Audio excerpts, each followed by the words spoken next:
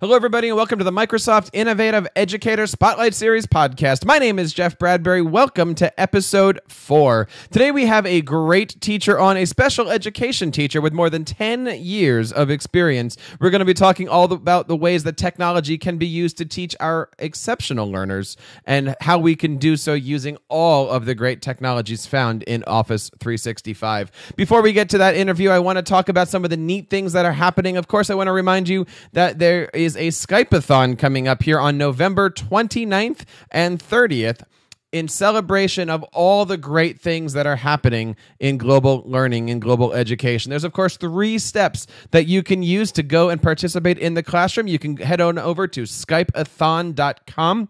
You can join the educator community. Very, very easy and free to do. Step two, you can find a classroom or an expert to connect with over Skype. And I got to tell you, once you hear our conversation today with this very awesome teacher. You're going to want to check her out and Skype with her. She is an amazing teacher in Georgia. There's another hint for you guys. And of course, step three is you can see how to get started using the Sway. We're going to link that Sway in our show notes here. And I hope you have a chance to participate. Last time we did a Skype-a-thon, they had over 3 million miles of Skyping back and forth between classrooms and countries. Don't just think inside of our country, think outside of our country. In fact, again, when we're having our discussion later on, we're going to hear how she took her kids all the way to Norway to Skype with some Microsoft people and how her students absolutely enjoyed it. So check that out. This is skypeathon.com. That's S K Y P E A T H O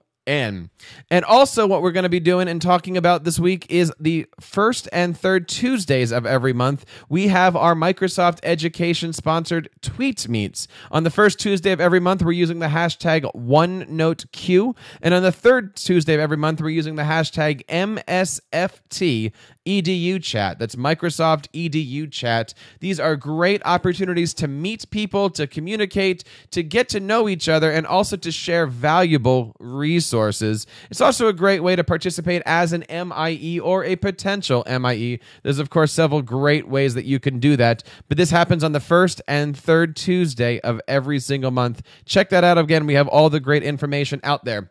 One of the things I would encourage you guys to do if you're listening to this show is to subscribe to our podcast. This is our fourth episode. We had some great guests on um, in our first few episodes, and we are going to be continuing this with amazing educators just like yourself. There's, of course, several great ways that you can reach out and be a part of this and all of our shows here. You can find us on Twitter at TeacherCast and follow all the great things happening at Microsoft Education at Microsoft underscore edu and at OneNote edu.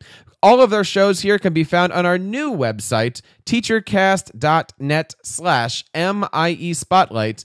And what I really hope that you guys take a moment to do is to check us out on YouTube, and on iTunes and subscribe to our channel and even give us a rating and a review. That is the best thing that you can do out there as an MIE.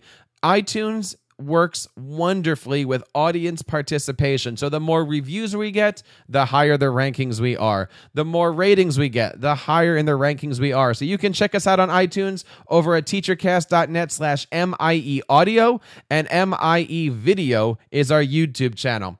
If you're interested in being on the show, we would love to hear from you and love to spotlight the great things happening in your classroom. You can do that over at feedback at teachercast.net. So, several great ways to participate here. And again, we want to have this show be completely interactive and focusing on you, the Microsoft Innovative Educator.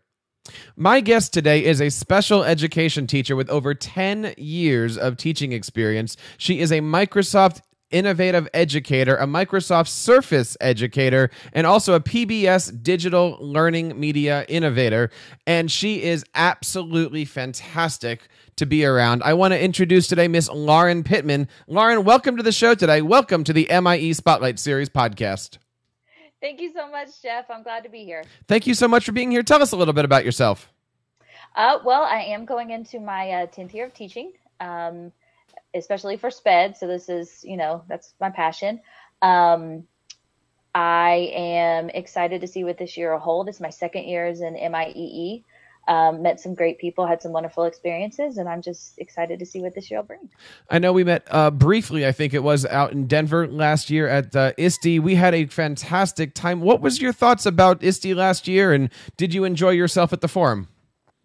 Oh, I loved the forum. So I think it was great to be able to see all of those people in person. You know, everybody has their kind of Twitter personality or, you know, where they'll post in the Facebook group, but being together um, you know, in one place. And, you know, the hunt was fabulous. And just being able to make those actual physical connections instead of kind of that social media side was great. I, I echo everything you just said. It's been really, really cool getting to meet everybody. And, and especially now doing the show, it's like, oh, wait, I, I, I'm in that person's Facebook pictures. That's kind of cool. We, I know. We met we met each other, and I agree. The hunt was fantastic. In fact, the other day I was talking to Robin about, you know, what are we going to be doing next year for the hunt in San Antonio, and she's like, I'm not going to tell you yet, but it's going to be fun. So I'm oh. certainly looking forward to it next year.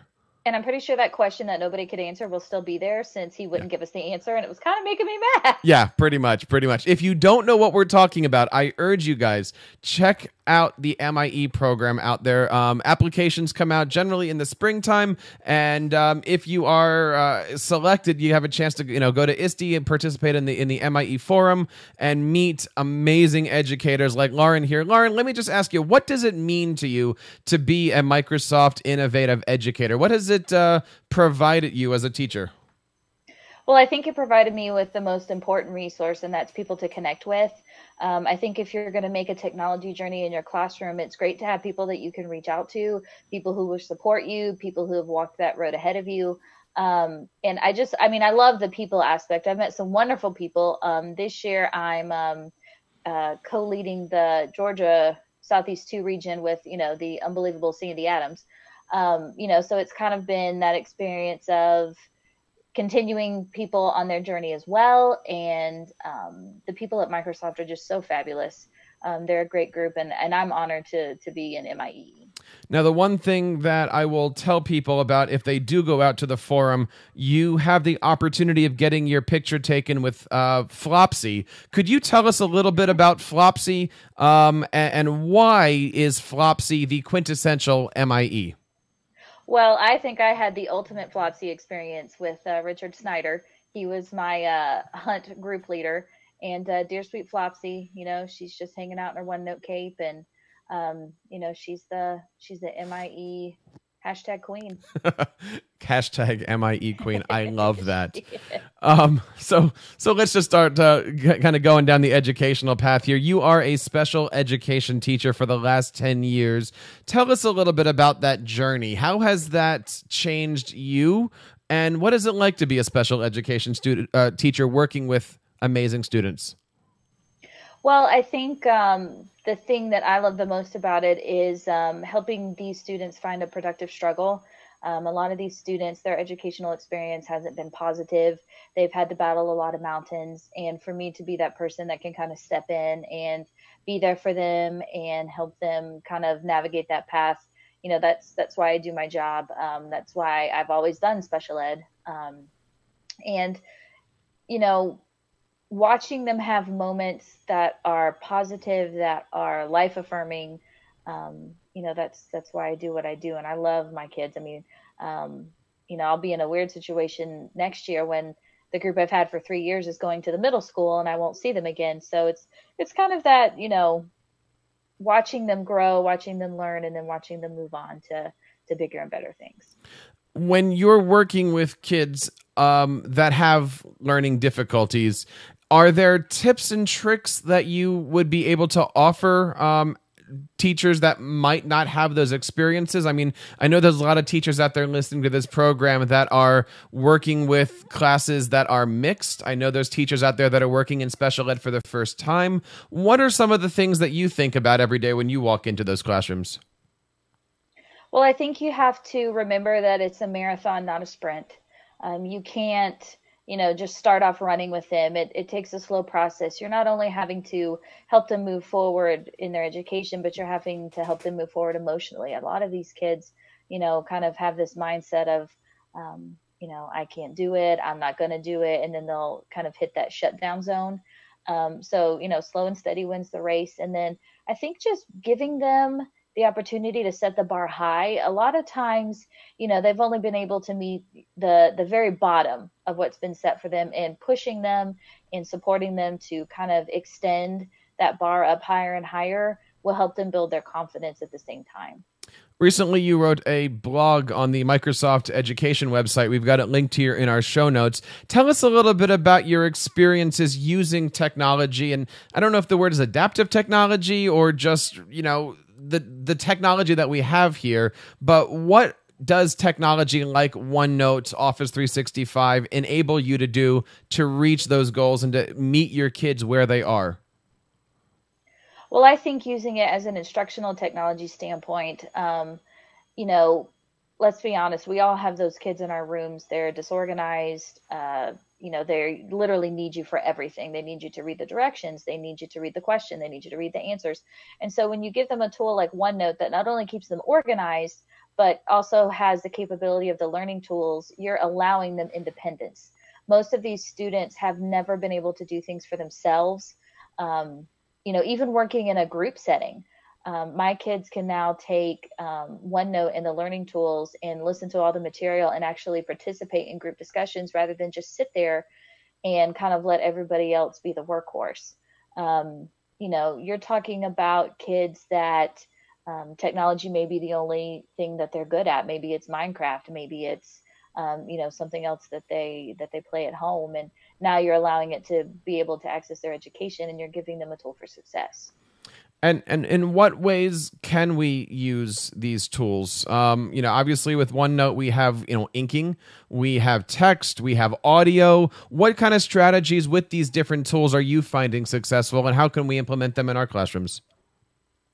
Well, I really like the instant feedback in OneNote, um, especially for my math students. Let's say that we're working on something like um, triple digit addition, and one of them has made an error in regrouping. I can stop them immediately. We can address the issue, and then the student can move forward instead of them turning in an entire assignment where maybe they've missed a step or they didn't hear the directions right. You know, so that kind of instant feedback is really powerful. And I really love being able to create my own textbooks in OneNote um, so when my students are learning a new science topic, I can actually create them, um, you know, kind of a well of information that they can tap into all the time. They'll actually share it with their friends um, when they're working in group or if we're doing a group project. So, you know, it's kind of that accessibility um, piece that I love the most. The other thing I love is um, being able to keep all of my stuff in one place so I can grade all their work in one place. Um, I'm not having to take home lots of paper and that kind of thing. So I think it's a twofold win for both. Talking today to Lauren Pittman. Uh, you can find her on Twitter over at Pittman's Place. That's P I T T M A N S Place. And Lauren, of course, this being October, we're celebrating uh, Dyslexia Awareness Month. I believe that's the right way of putting that. Um, tell us a little bit about your experiences working with uh, our young students who might have challenges in their reading departments. They are my absolute favorite group of students to work with because they really do um, make some of the biggest gains. And they're the ones that you have those like, you know, tearful moments or those aha moments. Um, you know, they kind of have to battle their own Mount Everest in a way, um, you know, kind of to find middle of the road. We're not even talking about, you know, exceptional at this point yet, but watching them just find middle of the road, um, be able to push forward and know that they're capable um, I think for a lot of students with dyslexia, it's it's more of a confidence builder um, that you kind of have to to battle against along with the educational piece. And they're um, you know they're they're my favorite kids to work with. Now, when you're working with students who have the reading challenges, do you use a lot of the tools in OneNote, such as the audio recorder or you know any of the inking tools, or what strategies have you found really work for them? Well, I think the most powerful one has been the learning tools itself. Um, the immersive reader has the option to turn on a screen display that can be personalized for each student. Um, a lot of these students like um, inverted colors, so white on a black background, um, blue, yellows, things that are um, a little less harsh for the eyes to pick up. Um, putting something on a stark white piece of paper and then handing it to a dyslexic student is like handing them the sun you know they they have a lot of time visually discriminating and so the learning tools being able to customize spacing uh, text size text font um, the display background, and then being able to just turn it on with a click of a button and turn it off the same way. That's really powerful for them. It's something that they know they can access quickly. It will work, and they can access it now on multiple platforms. Um, so even if we're not working in OneNote and we're working in Word, they can still use it there as well. You know, I'm I'm curious with you know you've been doing this for ten years, and obviously technology has changed. Has it gotten easier for you as an educator with this you know inventation of brand new technologies, or is it just different? Has it gotten harder because now you have to bring devices into a class and maybe teach those sc- skills in addition to life skills? How has the uh, technology improved or not improved your classroom? I think it's greatly improved my classroom. I think the one thing to remember is that we do live in a digital age. I mean, students are more computer savvy now than they were 10 years ago. I mean, I'm more computer savvy than I was 10 years ago. Um, so they kind of already have those basic skills of this is what I use for technology at home. And now my job is to say, okay, now we're going to use it in the classroom. So, I mean, I don't think that for me it's any more difficult. I think it actually is a lot easier. Um, you know, I love being able to just at the click of a button push an assignment out to all of my students. I don't have to make copies. I don't have to have somebody watch my kids so I can go down the hall to make those copies. You know, so it's it's a powerful tool for these kids, especially because we are in a digital age. Um, you know, and it's it's accessing something that they're familiar with. So you recently, uh, you and I kind of crossed paths, although we never actually, I don't think, caught up with each other out in Seattle at Hack the Classroom. And everybody out there was talking about this thing called, you know, five ways to use OneNote by a real teacher. And I started looking this up, and you've got this pretty neat video that, again, we're going to put in our show notes here. But tell us a little bit about the experience working with Microsoft Education, putting this video package together, getting to be in a video with Sonia. Tell us a little bit about all of this and um, how did it come around and, and what can we expect to see in this video? Um, that was a wonderful experience. I cannot say enough how wonderful um, the people at Microsoft Education are. I mean, they are really invested in us as teachers and they're completely invested in our students. Um, and it was a great experience. Uh, Sonia um, asked me to come out a few days early, and she goes, I think, I think it's really important to share these tips to get started because sometimes it can feel a little overwhelming um, if you just kind of jump in the deep end uh, and try to tread water because there's so many things in the technology, um, especially with OneNote and Sway and Mix. And so um, she had just asked me to give kind of the tips that we get started with. And these are the things that um, I do every year at the beginning of every school year um, to kind of get them started, um, projects to uh, help them learn independently all the tools that OneNote has. Um, but it was just a great experience. Um, we spent the day filming, and you know, Sonia, um, you know, she's she's fantastic. I love her. And I think it's also important to know there that there's a ton of resources on the education.microsoft blog, not only for people that are new to Microsoft education, but also are looking to go that extra step further. You know, if they want to become a Microsoft for Education trainer or just an MIE, I don't mean just, but an MIE, um, there's a lot of different things that you can find there. I'm finding new resources all the time when I prep for these podcasts. What kind of things do you look for on that uh, education.microsoft.com website? Well, I have really started to get into the like Skype virtual field trips. Mm. Um, we had done a lot with Skype last year for like Skypeathon and Mystery Skype, but we've actually scheduled one with our um, Talk group that we're going to do our first virtual field trip you know, and so the kids are really excited because they've used Skype last year and now, you know, now we're taking it a step up and we're going to be taking a field trip. But I really like the educator site. There are so many ways to connect with people. There are great start out lessons, um, you know, and when you create your account, you know, earning those badges is kind of like, oh, you get one of those and you're like, yay, I feel accomplished. But it's a it's a great resource, and especially if you're going to do um, OneNote, the blog, and then OneNoteForTeachers.com is another great place to get started. Well, you, you had just mentioned Skype, and I want to remind everybody again that the Skypeathon is going to be coming up soon here on November 29th and 30th. I believe last year they did over 3 million miles of Skyping back and forth, and I know they're setting a goal this year for like 5 mile, 5, 5 million miles. Um, do you have an opportunity to to do these type of activities with your students and if so, what do you think about doing these things and reaching out to other classrooms? Oh, they love Skype Mystery Skype. Um, that is what we did for Skypeathon last year. We had mystery Skyped with uh, five classrooms, and then actually had done a Skype session with uh, Mike Tholfsen and Ari Shore. They were in Norway, um, and they they cannot wait for mystery Skype because you know it's it's a game and who doesn't love playing games but it's also a game that's accessible for them you know they can get on the surface and pull up the map and ask questions. And i think it's that kind of also competitive element you know whoever gets there first wins.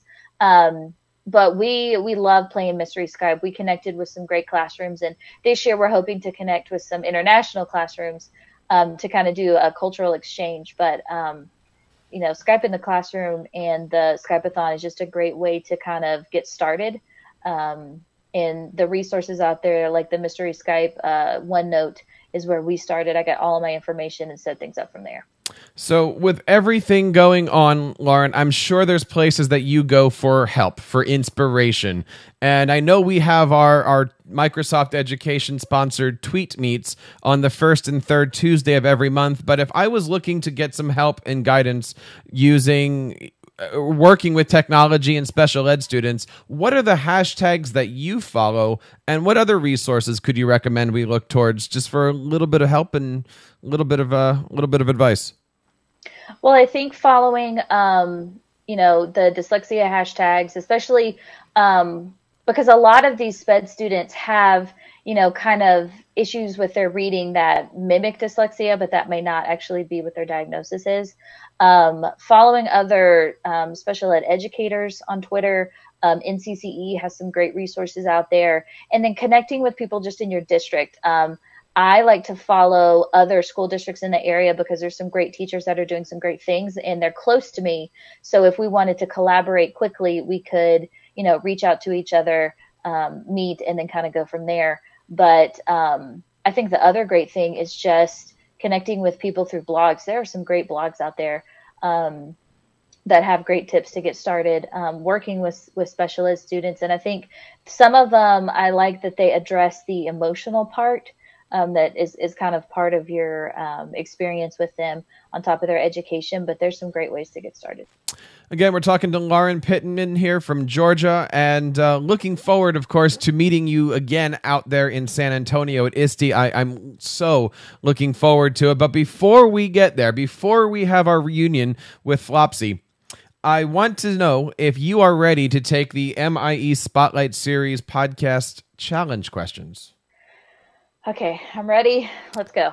All right. All right. Here is a series of questions designed to make you think designed to make you smile and designed to put you on the spot. If you're ready, here we go for you. Number one is the easy question, but why are your kids so awesome? My kids are awesome because they every day, um, you know, kind of what we call go into battle. Uh, they work so hard.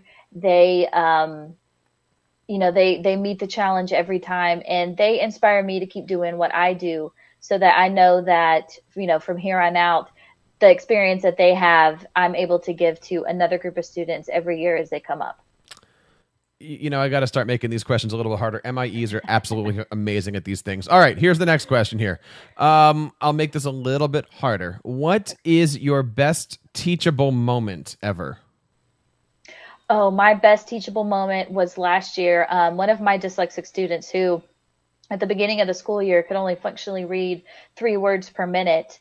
Um, and this, it's on instructional level text. So I think one thing for resource SPED students that people should um, know is that we don't um, meet them on grade level. We actually come down to an instructional level. So he was on a K1 instructional level. And at the end of the school year, our EIP teacher came in to do um, grade level fluency with him. So she was like, "Oh, we're just going to leave the door open." You know, it's only a minute. And he read 38 words per minute beautifully with no errors. And I'm sitting at my desk like ugly crying. She's ugly crying in the doorway. And our kids are looking at us, you know, like we've grown three heads. I mean, one of my kids even came up and patted me on the back and they're like, Are you okay? You know, but that was the biggest moment last year. It was him reading 38 words per minute on grade level text. Um, and that was that was one of those things that I'll never forget. That's uh that's pretty awesome right there. But I still have one more question. okay. Um, this is kind of an easy one, but uh, what advice do you have for teachers out there who are getting started or maybe are using Office 365 for the first time? And that could be any app, anything. But for teachers who might be sitting here kind of confused, kind of lost, what advice do you give people when they want to just dive in? I think find one thing that you want to focus on and figure out how to pull the other pieces in. So I started out with OneNote and then I actually replaced all of my paper pencil tests with sways. Um, so let's say we were doing a novel study. Uh, we did Charlie and the Chocolate Factory, and my students would have to create a chapter summary for every chapter and then turn it in at the end of the book, and that was their test. Um, I could grade it on things like grammar, um, word choice, spelling, um, but it was in a way that was relevant to them. And plus, let's be honest, you know, paper pencil tests for them are super challenging, especially multiple choice. Um, so find one thing that you want to start with and then slowly start incorporating the rest. And then by the time you do that, you'll realize, oh, you know, I've already kind of set everything up and I'm ready to go. And that's a pretty cool answer. Um, and I love the idea of taking the paper and pencil and moving it over to Sway. And, and, and, I'm sure you're aware of this.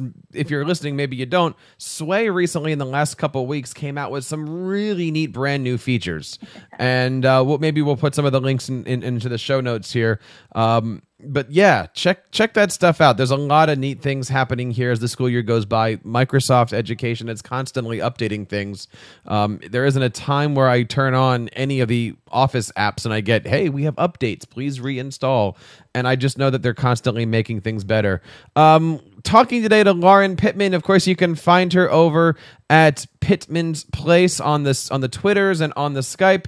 Um, Lauren, uh, if anybody wants to reach out to you. You know, where I, guess I shouldn't say where can we do that because we just gave out your, your Twitter account, but are you open to having people do mystery Skypes and stuff with you and your kids? Absolutely. Um, we're on the educator site. Um, you can find me, Lauren Pittman.